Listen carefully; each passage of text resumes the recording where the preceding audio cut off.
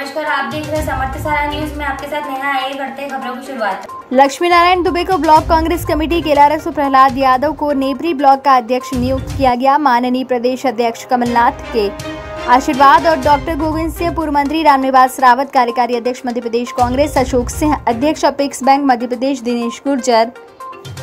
अध्यक्ष मध्य प्रदेश किसान कांग्रेस के सहयोग से वो माननीय विधायक बैजनाथ कुशवाहा। और जिला अध्यक्ष राकेश मावई की अनुशंसा पर उन्हें नियुक्त किया गया। उनको ज़िम्मेदारी दिए जाने का कैलारस के समस्त कांग्रेस कार्यकर्ताओं में हर्ष की लहर उत्पन्न हुई। इस अवसर पर कैशव गोयनर, नाथुराम इंदौरिया, बिंदु कुरेशी, रजोले कुशवाहा, धनीराम कुशवाहा, गणपति राम पटेल, राजकुमार सिंगल, सोनी धाकड़, रामपाल सिकरवार ओम प्रकाश शर्मा, अशोक जाटव, राजाराम बंसर, पूरनमल शास्त्री, शिवचरण शाक्य, सुरेश उपाध्याय।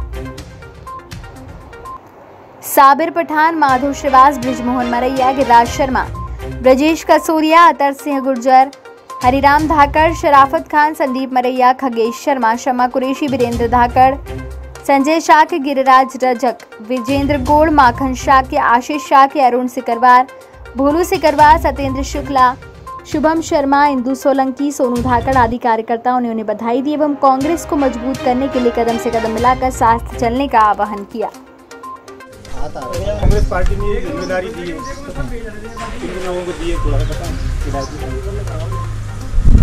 अभी कुछ ही दिन पहले कांग्रेस पार्टी के कुछ एमएलए और उन्हीं के साथ साथ में कुछ पार्टी के पदाधिकारियों ने भी पार्टी छोड़ दी।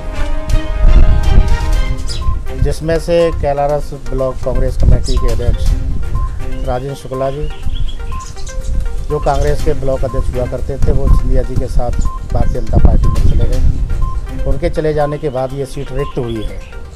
इसलिए आदरणीय कमलनाथ जी ने कहा कि जो सीटें रिक्त हुई हैं, उन्हें अतिशीघ्र भरा जाए, क्योंकि आगे आने वाले कुछ ही समय में चुनाव होने वाले हैं।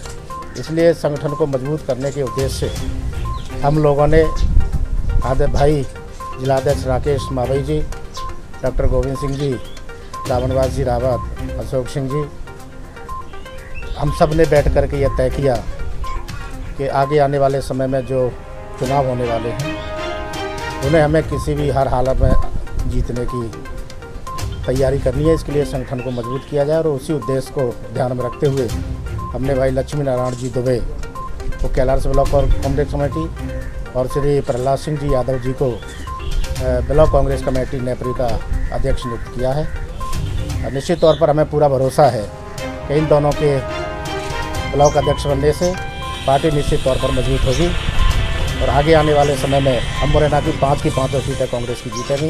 धन्यवाद।